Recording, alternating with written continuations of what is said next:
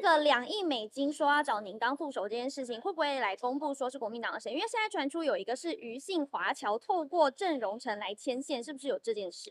我跟你讲哦，在那过程当中哦，什么什么，你说余县上人啊，还有那个什么季将军啊，还有个什么魏先生啊，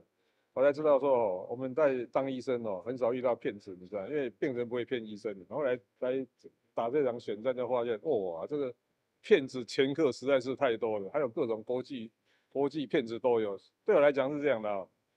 这一页就把它翻过去，反正都结束了，我们就认真的打赢选战。那如果就是说开放，就是陆生来来就业的话，那这样子好像会引起年轻人的反。刚才不是讲过嘛，所以这一定是破帽比夫冒险嘛。所以当年二零一四二零一四年太阳花学会爆发，就是第一个程序不正义嘛，第二个顺序错误，因为服贸服贸对整个社会冲击太大，所以总会从那个，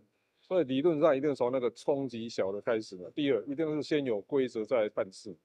是不是说，其实很多蓝营小鸡都有希望支持，希望柯主席的支持？是这样的哦，